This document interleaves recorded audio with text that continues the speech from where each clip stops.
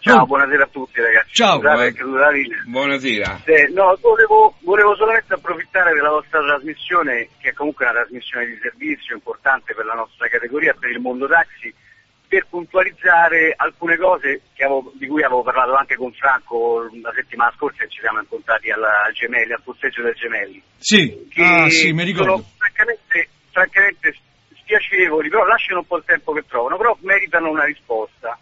Allora, siccome ultimamente eh, l'Uritaxi sta strumentalizzando una mia intervista di, anno, di più di un anno fa fatta eh, in- relativamente all'applicazione americana che conosciamo tutti, Uber, nella quale dicevo che è illegale e che per essere legale si dovrebbe rivolgere ai taxi.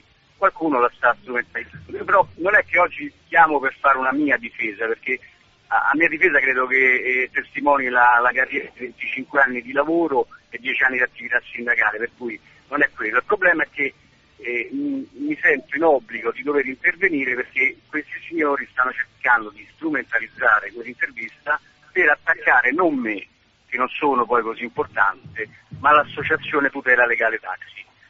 E, attac- e attaccano l'associazione e mi rivolgo a quei personaggi che io definisco dei jukebox perché eh, il loro padrone mette dentro la monetina e loro suonano la canzone del padrone perché attaccano l'associazione tutela legale taxi.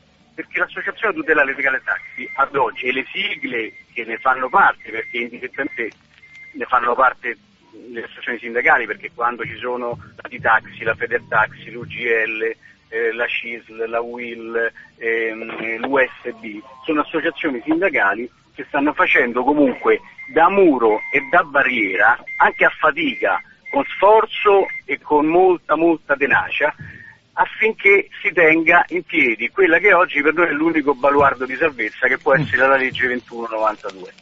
Cosa che invece qualcun altro vorrebbe eh, cambiare, perché quando eh, lo stesso Lorano Bittarelli candidamente in un parlamentino dice che vuole cambiare la legge 2192 con eh, i noleggiatori, tu capisci che a noi ci, viene, ci, ci manca la terra da sotto i piedi, perché da ignorante, ma non io, ma i nostri legali, vedendo l'impianto della legge 2192, cambiare solamente una virgola di quella legge vorrebbe dire lo sbrago, perché oggi, nonostante tutto, stiamo tenendo, con tutto che comunque c'è una- un, un abusivismo da far paura, però in qualche modo lo stiamo contenendo ed eh, arginando con le nostre battaglie nei confronti dei comuni.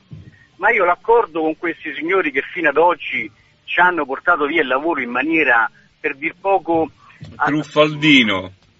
truffaldino, comunque illegale, facendo Certo. eh, incetta di licenze in altri comuni, a volte a fronte di corruzione. Io non No, vedo come si possa sempre, fare. Oltretutto, questi signori, questi signori sono gli stessi che operano nell'aeroporto, sono quelli che Claudio giustamente prima diceva, stanno lì davanti al T3, adesso se vai giù, ritrovi. Come faccio io a fare un accordo? In che termini lo faccio l'accordo?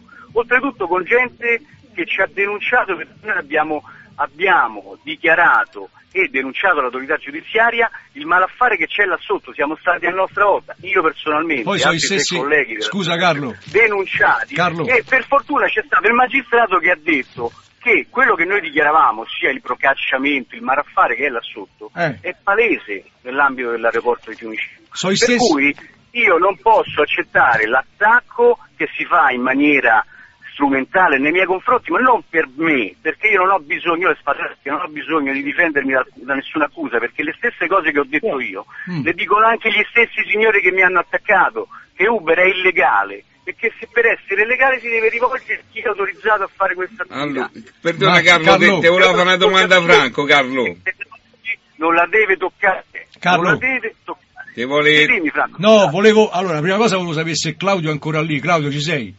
Sì, sì, sono No, in linea. eh, voglio, cioè, perché magari eh, se volevi te stocanavamo, però voglio, andiamo al eh, No, no, no, sono i no, stessi, no, sono stessi, eh, sono gli stessi, caro Carlo e caro Claudio, sono gli stessi che fanno, come ha detto prima Massimiliano, mi ci ha fatto arrivare lui, eh, cioè vogliono rimanere per- da 30 anni e oltre lì all'aeroporto perché è un diritto acquisito, però fanno le denunce poi alla delibera comunale che prevede... eh, Bravo, bravo, Franco, esatto, sono oh no, loro, oh no, e, e, Scusa, e queste sono, aspetta, Massimiliano si riferiva agli Sì, NCC ma però. eh. all'NCC, esatto, io ti faccio... E non lui si riferisce esatto. all'NCC. Uno di questi... No, Carlo ce l'aveva con- No, ce l'aveva l'aveva con, con- con gli NCC. altro. No, con Sì, gli NCC. Però prima. quando Però, si, eh, va al fo- si vuol fare un accordo e si dice che Eh, lo certo. si vuol fare con i noleggiatori, Eh. sono quelli i noleggiatori, Bene. ma con chi lo fai? Con chi, fa la- chi- con chi si appella al TAR contro la delibera che regolamenta l'accesso in città?